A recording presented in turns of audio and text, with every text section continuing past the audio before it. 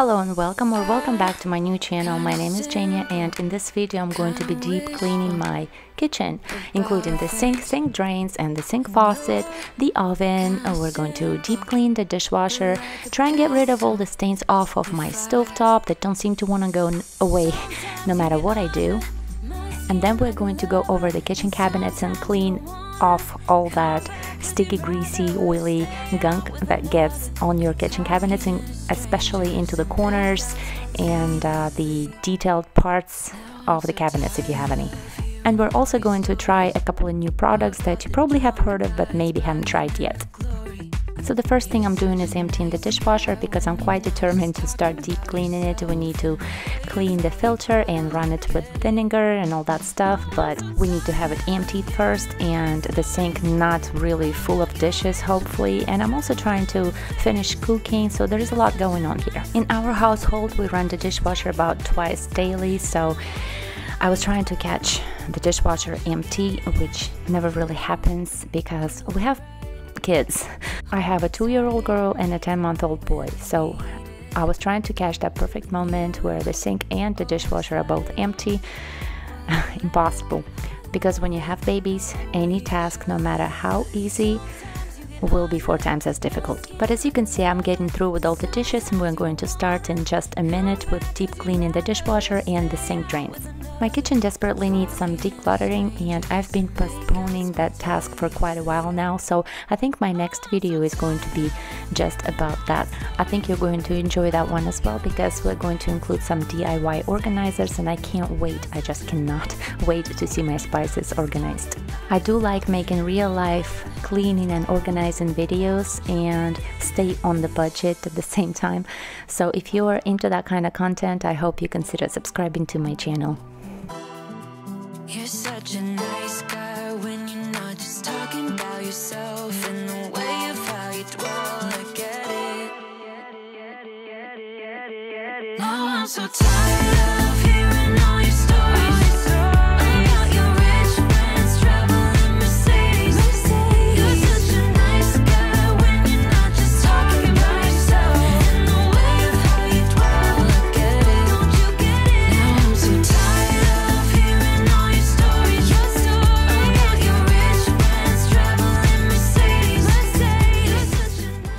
So we now emptied the dishwasher and we run it again with all the dirty dishes and by the time it was done, it was the next morning. So now I am really starting the deep cleaning together with my morning coffee. So I'm gonna get my one cup of vinegar ready to run it in an empty dishwasher but first we need to clean that filter from the inside of the dishwasher.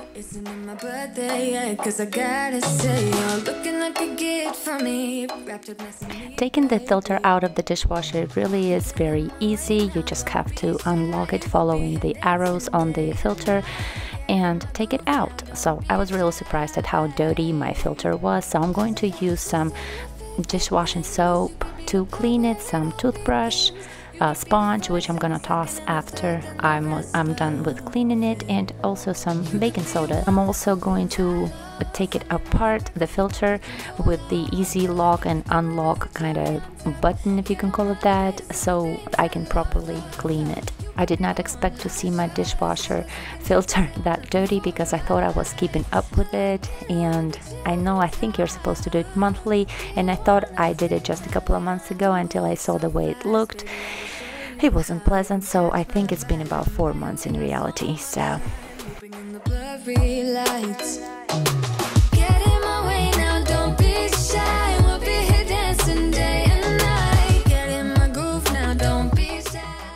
So the filter is all clean now. I'm going to put it back together and then stick it into the dishwasher, lock it in, and run the dishwasher with one cup of vinegar on longest, heaviest cycle.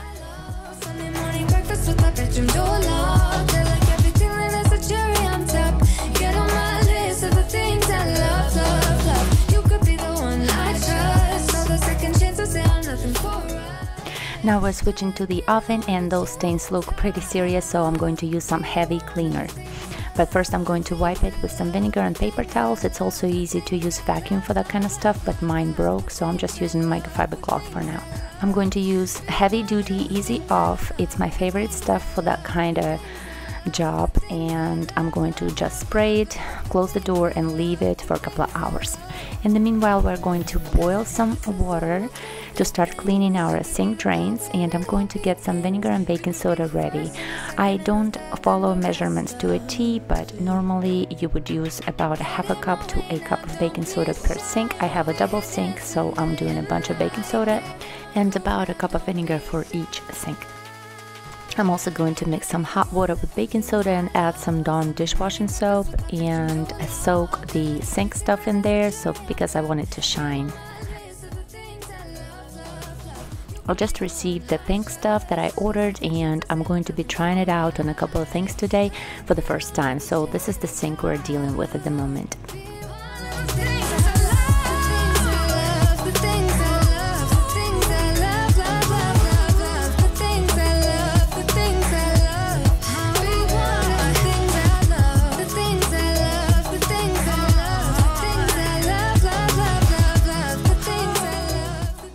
So I think the pink stuff did a pretty decent job on my sinks and now the water is boiling for the drains so I'm gonna pour it down the drains and this is normally where the all the smelly stuff comes out and you can actually smell if your sink is bad.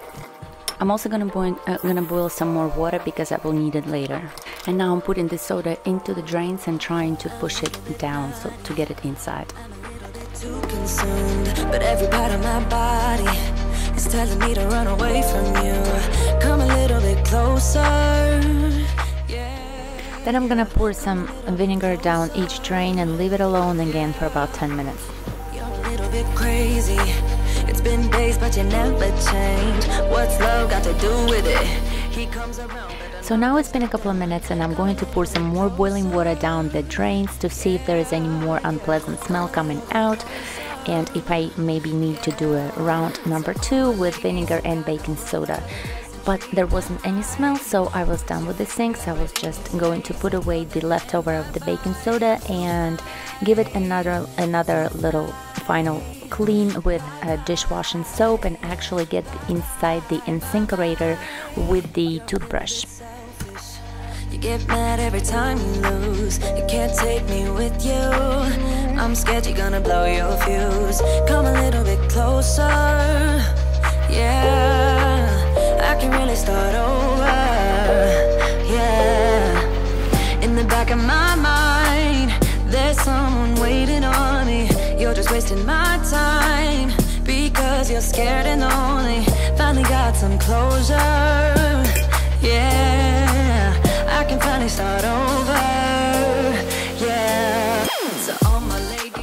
Later in this video, I'm going to soak this faucet overnight in vinegar and I'm gonna get to that after I'm done with deep cleaning everything else on the list in this kitchen.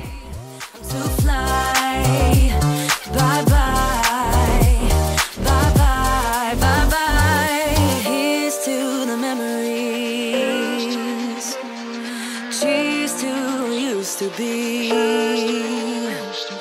friend said that you left me.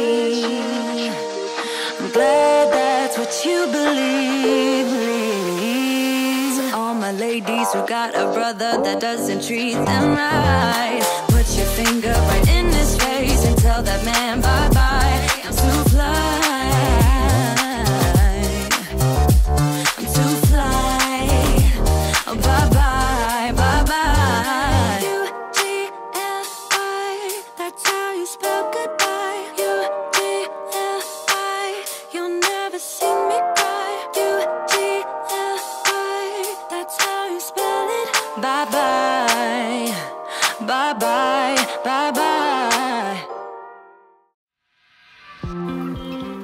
We're getting to the hardest part of the kitchen, which is my stove top. It's got some stains that would not go away no matter what I do.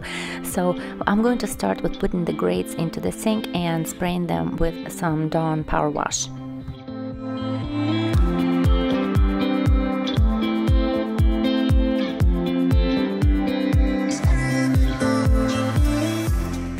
This is the part I'm going to be working on a lot today and I'm going to start with the lightest solution which is Dawn dishwashing soap and work my way up to try and get it to go away but I don't know at this point what this is if it's dried food or if it's the coating coming off or maybe the finish. I'm not sure but I keep on trying different things. Now I'm going to leave it to soak for just a few minutes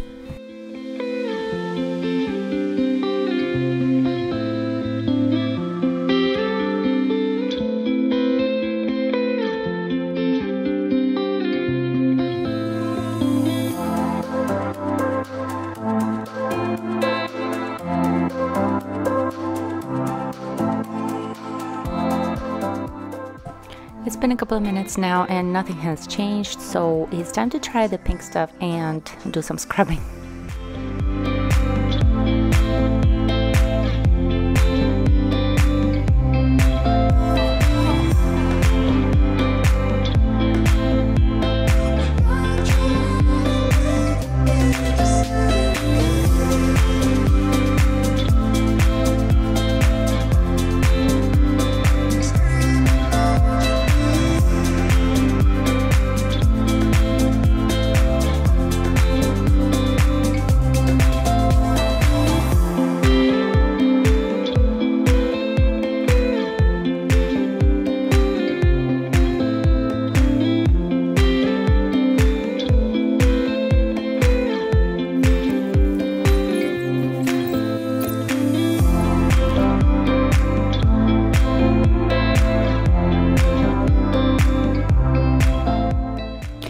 I think it kind of looks better but it still needs some work.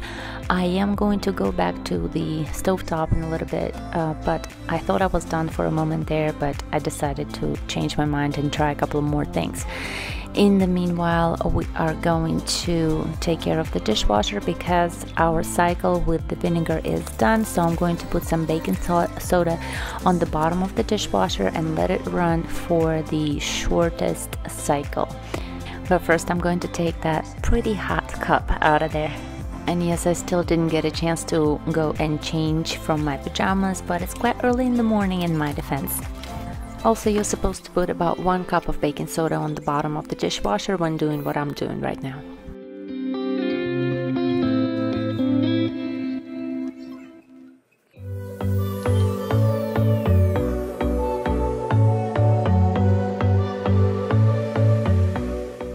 I love this all-purpose cleaning vinegar by Aunt Fannie's and I run out of it so fast because I love it so much. I have tried lavender and lemon and it can get quite pricey though so I'm using the bottle and I poured some regular cleaning vinegar in there and that's what I use for pretty much everything. So at this point I'm trying easy off oven cleaner on my stovetop and for those who think that it is coating or finish coming off of my stovetop, I'm sorry to hurt your eyes, but I really don't know what's going on here.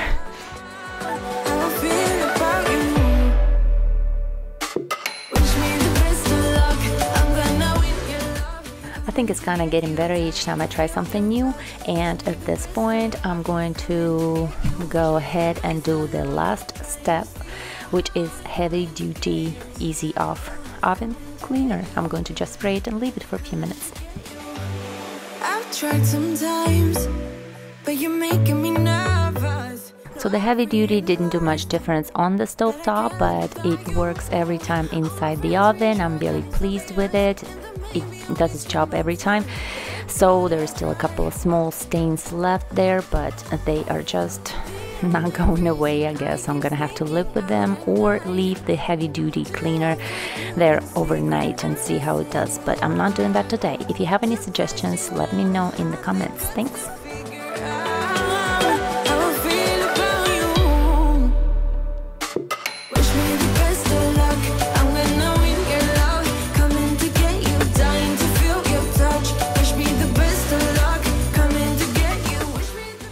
quite honest, I don't remember the last time I looked inside this one drawer, but at least I'm getting there. We are done with the stove top and the oven at the moment, but there is still a couple more things to come, especially the kitchen cabinets and how to get that greasy dust off of them.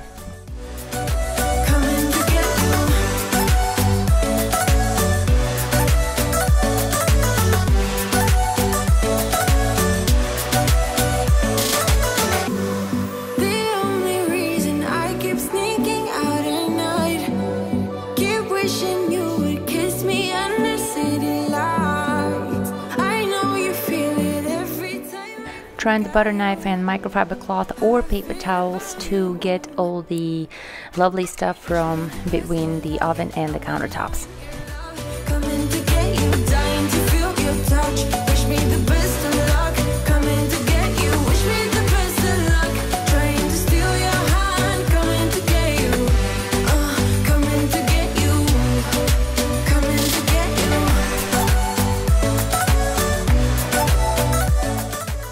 I'm quite surprised to see that the microwave is not that bad, so I'm going to just wipe it with some vinegar and my microfiber cloth.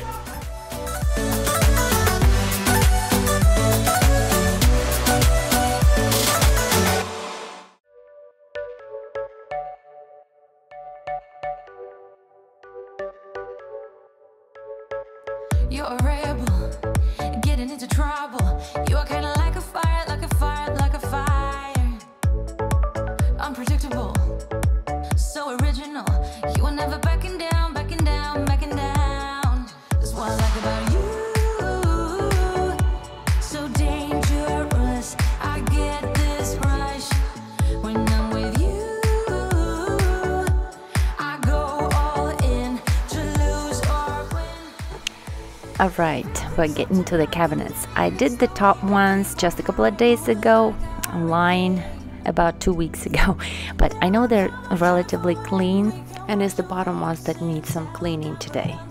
And normally for that kind of job I would use my self-made uh, vinegar solution with water and dishwashing soap but today I just received Young Living's Thieves all-purpose cleaner for the first time and I'm going to be trying that. I just first need to put the racks away, the uh, wipe the countertops and get rid of that huge container with pink water which is my hydroponic solution and so I'm gonna have to get my husband for that one.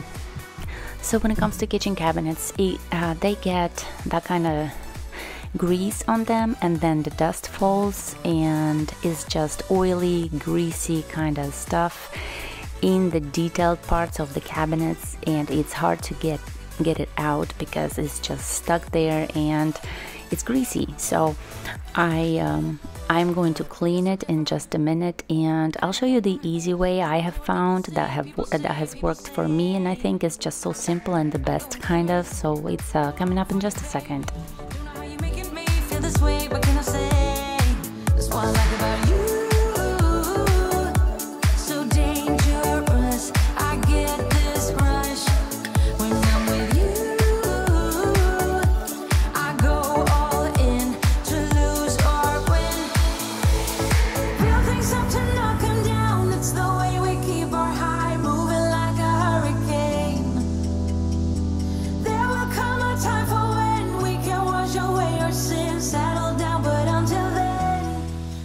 I gotta say I really like this cleaner so far. It smells pretty pleasant and it's all natural and also it does a pretty good job at least on my cabinet so far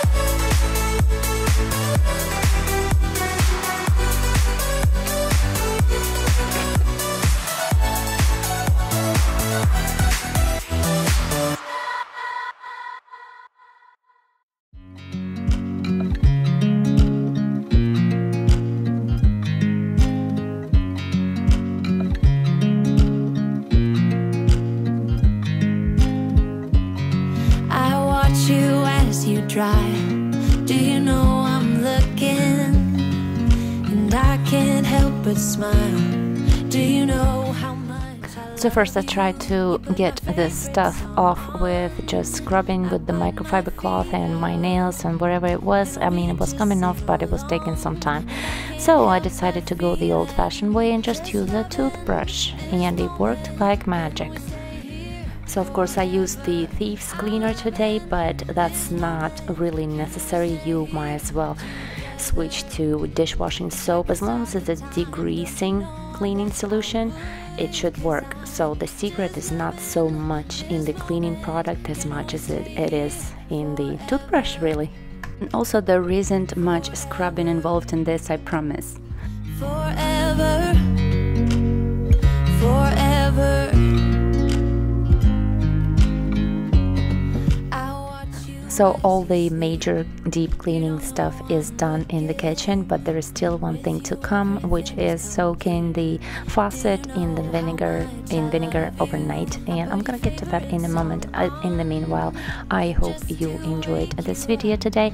I'm going to be working on decluttering my kitchen in the next uh, video so I hope you stay tuned for that. If you consider subscribing to my channel you would get notifications when my next videos and when my videos are out. I would really love for you to subscribe if you like this kind of content. Don't you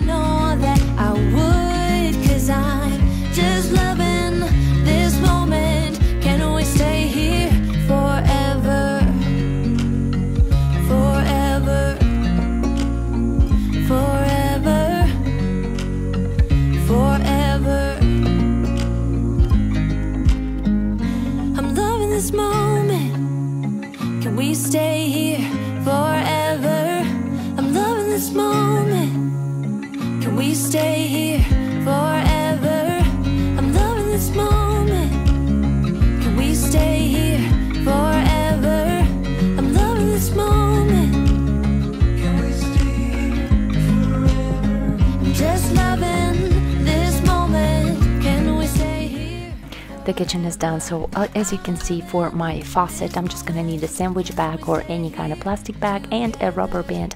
I'm going to pour some vinegar into the bag and then put the faucet into the bag and secure it with a rubber band and leave it overnight like this. And in the morning just take it out and it's all done. Mine is pretty clean, but the first time I did it, mine was pretty disgusting. So when I took it off in the morning, I still had to scrub it with some dishwashing, uh, dishwashing uh, soap, and it was fine. I watch you as you drive. Do you know I'm looking?